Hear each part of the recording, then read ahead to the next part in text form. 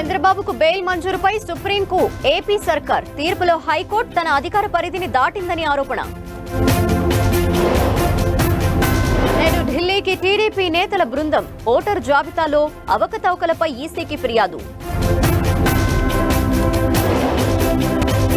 CM Jagan సోళ్ళూరుపేట పర్యటన వాయిదా. వర్షం కురుస్తుండటంతో నిర్ణయం.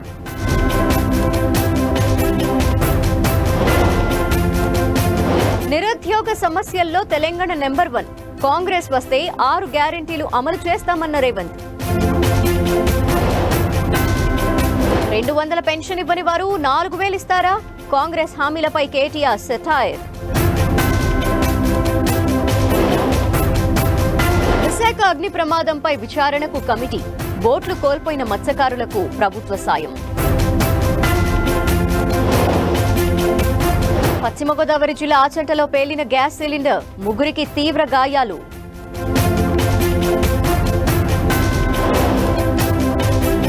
అవినీతి కుటుంబ పాలనే కాంగ్రెస్ పార్టీ ప్రాధాన్యత.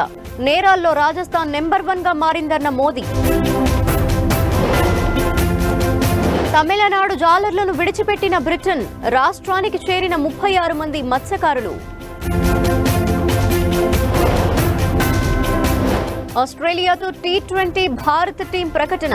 కెప్టెన్గా వ్యవహరించనున్న సూర్యకుమార్.